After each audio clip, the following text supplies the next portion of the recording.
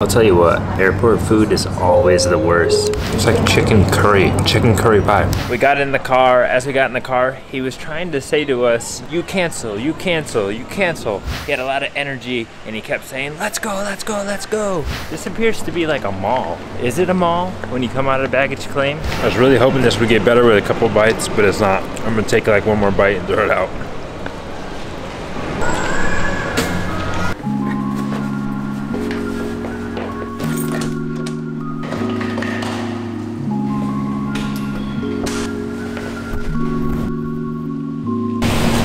Today is a travel day. We're leaving Bangkok, going to Malaysia, Kuala Lumpur. Finally, let's get to the airport.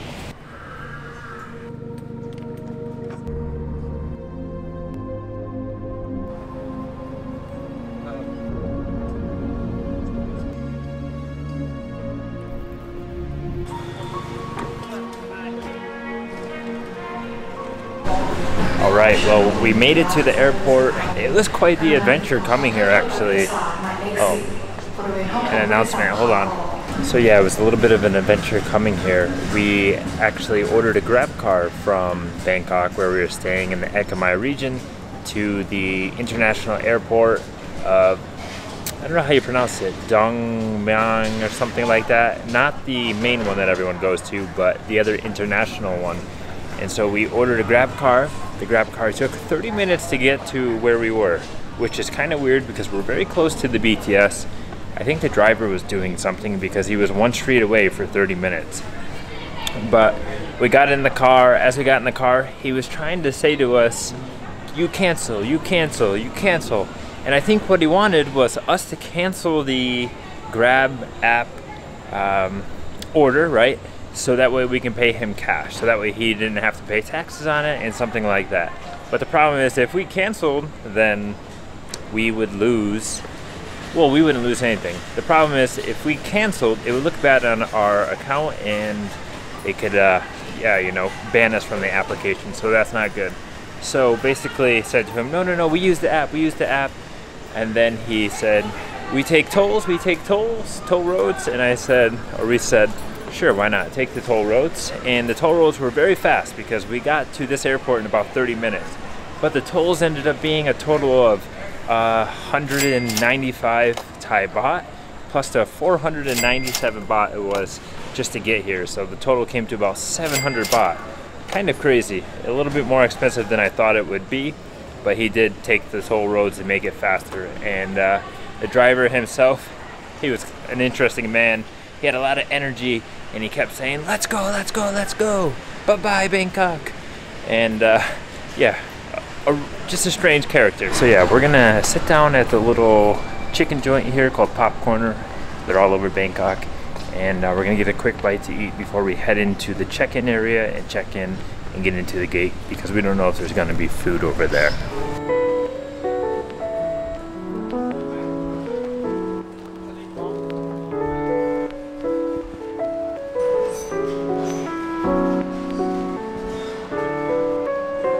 See this food right here? These are french fries and boneless chicken. This is the jumbo size, 166 baht. Wow, I thought it was gonna be bigger. They get you with the size jumbo. Hmm. So we're at the potato corner. They have these in the malls in Bangkok. I've seen them. And it's really interesting because they have a combo deal going on on the menu. For 166 baht, you get a jumbo chicken with a jumbo fry. There's more fries than there are chicken, but the thing that's interesting about it is jumbo is only the, the second smallest size. So it starts at large, then it goes to jumbo, then it goes to mega, giga, and terra. So you read jumbo thinking, oh wow, it's gonna be pretty big. And then and then you get this. I mean, look how tiny it is. It's definitely for like a 14 year old child.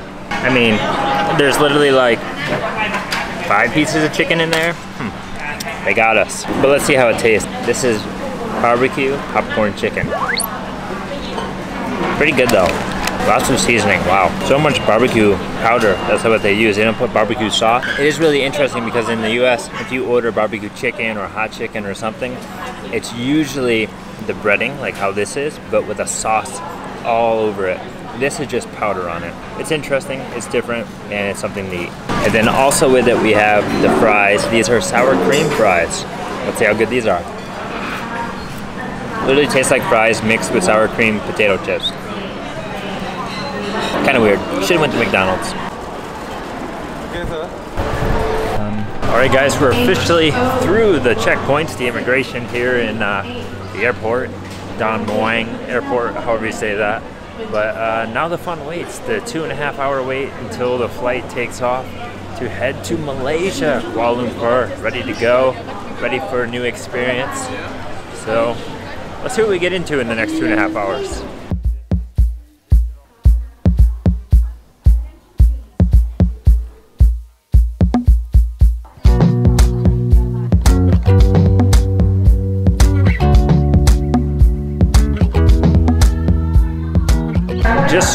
Here at the gate. Finally made it. Have a lot of time to just chill out. And I gotta tell you, I'm pretty impressed with this airport.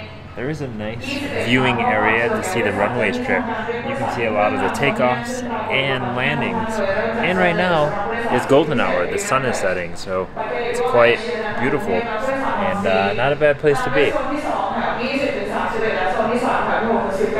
I did just pick up a Coke Zero and uh, 45 baht for a Coke Zero.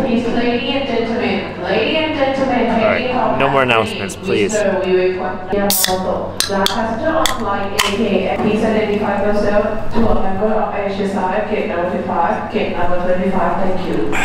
One thing I'll never understand is why food, beverages, anything that you purchase at the airport is so expensive. It's in the city, it's in the destination where you are. Why is it always so expensive? Because there's no tax on it or something? I don't know. 45 baht, it's not a bad deal. It's, you know, a little more than a dollar or so.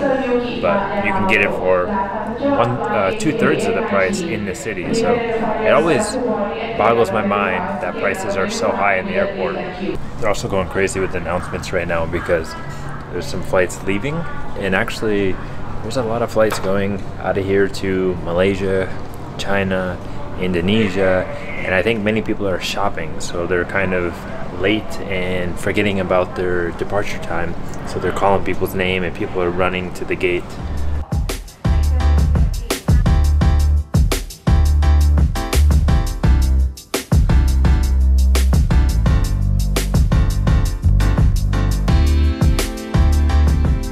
So as you guys can see right here, this is the Air Asia flight or Air Asia plane. It has a Malaysian sticker on it, so maybe this one operates out of Malaysia.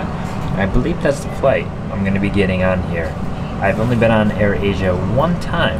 Wait, I lied. I've been on Air Asia two times, and it was in the Philippines. Once from Manila to Palawan and Palawan to Manila uh, five years ago in 2018. So I'm excited to get back on Air Asia, see how it is because it's a pretty cool airline. I like the colors. I like the design. It's pretty simple, but um, it is a, a very, very important airline here in Southeast Asia. Now that it's getting later in the evening, this airport's getting pretty busy. There's more traffic happening outside, more traffic happening in. I was just looking at the board of departure flights. There's a lot of flights going all over the place. Many to China, like I was saying earlier, and I'm quite shocked. I didn't think there would be that many people uh, traveling here already from there, but there are, and that's a good thing because they're like the last ones to travel finally. So it's good that the people are getting out, they're getting their vacations in, and uh, they're not landlocked there. As you guys can probably see, it got dark very quickly now, and uh, yeah, can't really see outside too well because the lights are reflecting off the glass, so the glass just looks black. You have to go up to the window and go in order to see. But I did just pick up some food here. Got 200 baht worth of food because that's how much you have to buy in order to use a card in this airport in most of the places. Probably not the case with like the fast food places like McDonald's or Subway or Burger King or something like that, but at least the local places. I'll tell you what, airport food is always the worst. Did just pick up this ham and cheese croissant for 120 baht. Feels pretty hard, uh, feels like it's been sitting for a long time. The croissant is not that flaky, soft uh, texture or consistency that usually it's supposed to be. But yeah, ham, cheese, and looks like some mayo on here. Something to eat. Let's try it out. Mm.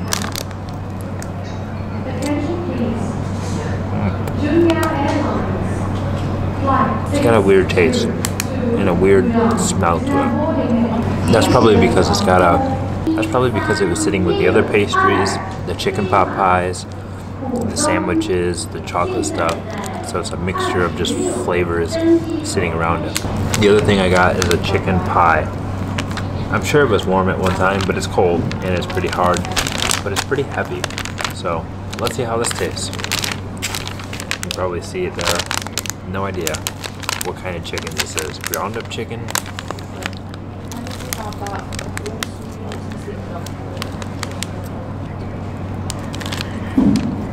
Oh like chicken curry. Chicken curry pie. Pretty good. This chicken pie here was 120 baht also. Wait, 120 baht? No, I'm sorry. This here was 60 baht. It's one of the other cheap items there, but pretty good.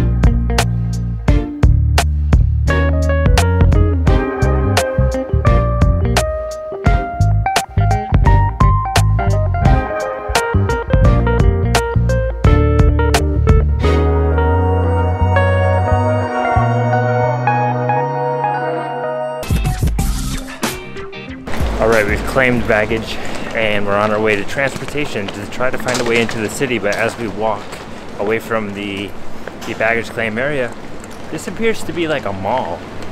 Is it a mall when you come out of baggage claim? Or is this the airport? I'm kind of confused. It looks like a mall, but I believe it's an airport. Very nice. Lots of restaurants in here and uh, very clean. I like it different than all the airports I've ever been in. Yeah, so as I was saying, this airport's pretty nice actually. We just came down to the lowest level. It says it's level one. There was maybe four levels here when you come out of the international arrivals. And this is where you can get a grab car to the city.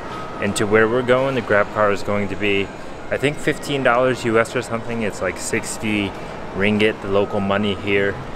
And uh, I tried to take some money out of the ATM, but it wouldn't accept my Visa card for some reason, which is weird because Visa is accepted everywhere in Asia, but not here, I guess. So now we're just waiting on our Grab driver, and we'll enjoy a hopefully quick journey to the city of Kuala Lumpur, well, into the center because we're pretty much there now. And uh, yeah, can rest up for an adventure tomorrow and a first day in Kuala Lumpur. You know, one of the other problems with arriving to an airport very late is sometimes you don't have any food to eat because the airport is very closed or is closed and you arrive into a city late and uh, everything's closed in the city. Here, luckily, there's many places open and it's 12.30 in the nighttime, a little past midnight. So I got this chicken cheese sandwich. It's cold. Don't know how good it is, but I'm about to find out.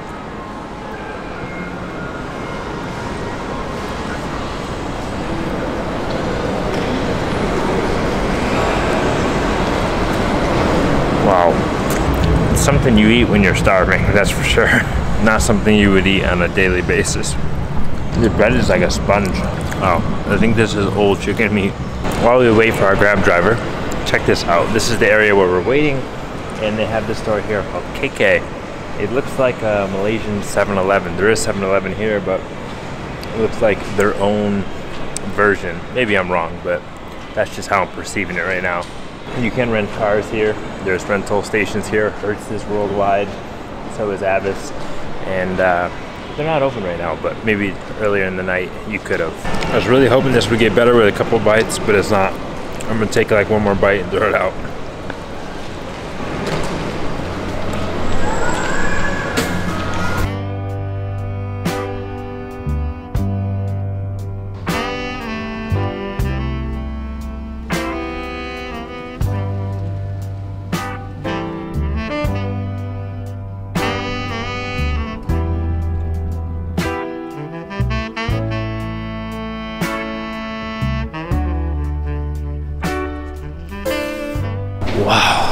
Finally have made it to the Airbnb and it is 2 o'clock in the morning.